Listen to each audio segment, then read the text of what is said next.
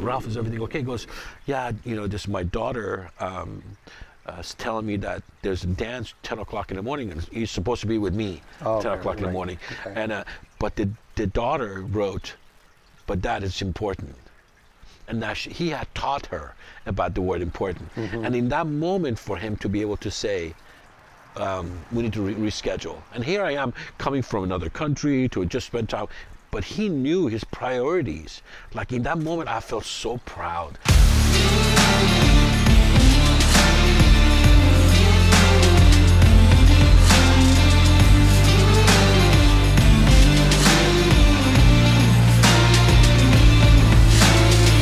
So we were talking this morning while we were setting up uh, about your recent travels to Germany, and I'm really curious about a maybe what you learned in your travels because I think traveling's good for everyone, but also what kind of things that we talk about in the dojo when you're traveling overseas, going to new places. Are there any ideas that kind of stick with you as you're traveling and, and doing these sort of things? Absolutely. I mean, the whole idea of the traveling for me started a, a few years back when I saw a sign when I went to Australia um, in the airport that says, um, cover the earth before it covers you. And I remember just seeing that and my whole, and I got goosebumps, you know, kind of thinking like, what does that mean, you know? So anyway, then I welcomed opportunities to travel. Then I went to a few different places. But my recent one to Germany, of course, the highlight was just sharing my art Right. um, with a few schools. I did six different seminars um, for six different beautiful schools in Germany. And um, two highlights that I had is I went to Berlin. I, I saw the wall, and I had no idea about the history of the wall, so I, you know, spent some time with that. Then uh, my host also took me to um, Dachau, which is the second biggest Oh, wow. concentration camp. How was that?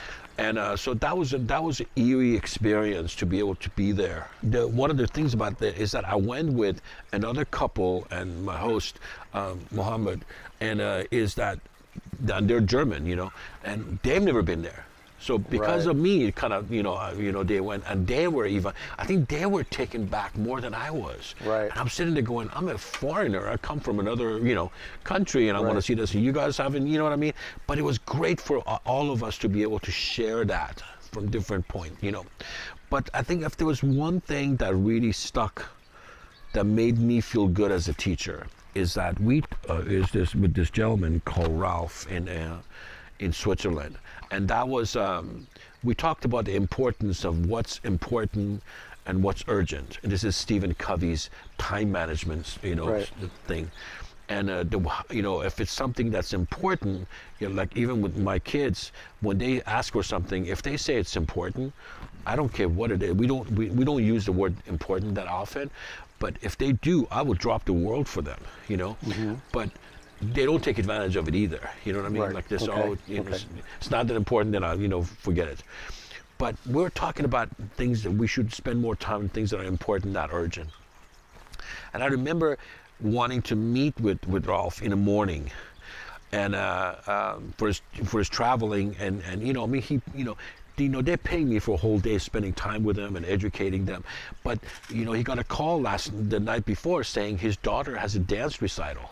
And I was at dinner and I'm looking at his text. He kind of kind of dropped his eye and I went, Ralph, is everything okay? He goes, yeah, you know, this my daughter um, uh, is telling me that there's a dance 10 o'clock in the morning and he's supposed to be with me Oh, 10 right, o'clock in the right. morning. Okay. And uh, but the the daughter wrote, but that is important.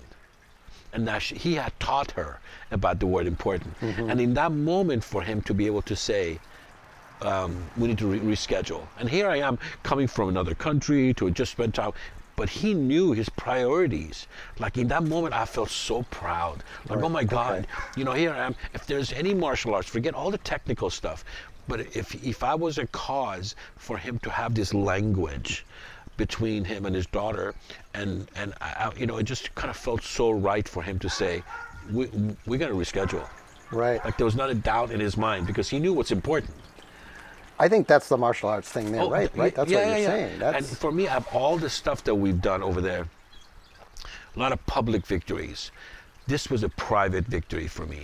Like I just, you know, uh, uh, and I didn't make this stuff up. You know, stuff have been around for forever. You know, but for him to recognize that moment, Right. like um, that's important. And he went, and he had a great time. Came back a couple hours later. We continued our day. Never even mentioned it. You know, like he didn't make a big deal about. it. I didn't make a big deal about it.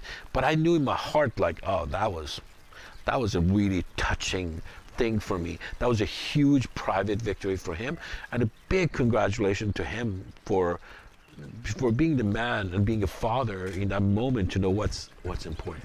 I think for especially for younger generations and maybe as parents too, we have the difference between important and urgent. Yeah. It's such a wonderful discussion to have Absolutely. because urgently we need to do this, but is it really important? Like that frantic nature that we have so much. I know at least I have with my daughters.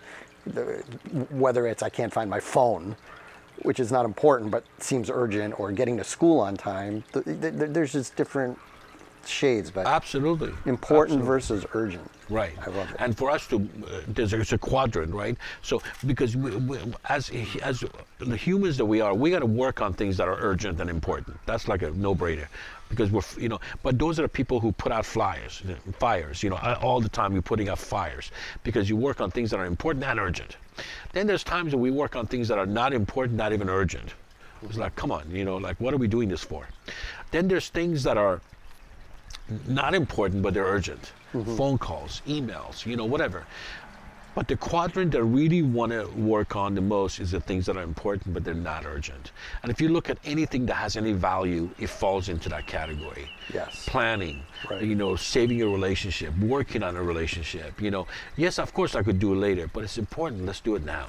Yeah. You know. Uh, anyway, so that was a big, big highlight for me from the Germany trip.